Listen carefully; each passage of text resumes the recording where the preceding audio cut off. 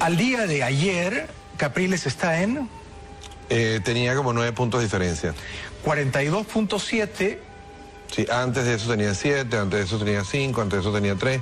O sea, esto es la manifestación de la acumulación de fenómenos. Acuérden- acordémonos que un tracking no mide ese día, mide un tercio del día que marca, un tercio del día anterior y un tercio del día anterior, porque es una muestra móvil. Ok. O sea, va entrando data nueva y sustituye la anterior, entra data nueva y sustituye la anterior.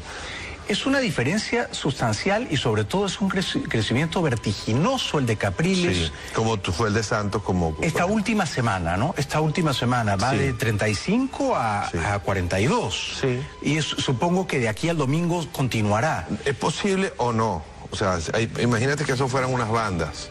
Yo creo que él se va a mover entre 9 y 12, entre 12 y 15, no más de ahí. De Pero- diferencia. Pero es posible entonces que Capriles el domingo le saque 12 a 15 puntos de ventaja. Claro, claro. Como le sacó 67 a 29 Santos a Mocus después de haber estado abajo. ¿Tú crees que Capriles va a ganar este domingo? Yo estoy convencido que va a ganar.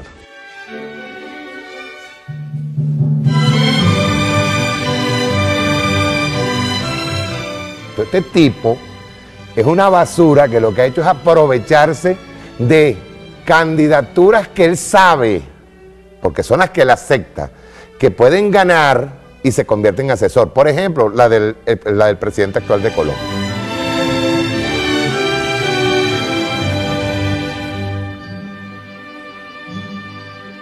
Este individuo, que es un tipo que cobra y cobra duro, no es ningún pendejo ni tiene ningún poco bajo criterio, ni es títere de nadie. Este tipo sabe lo que hace, porque para eso se entrenó.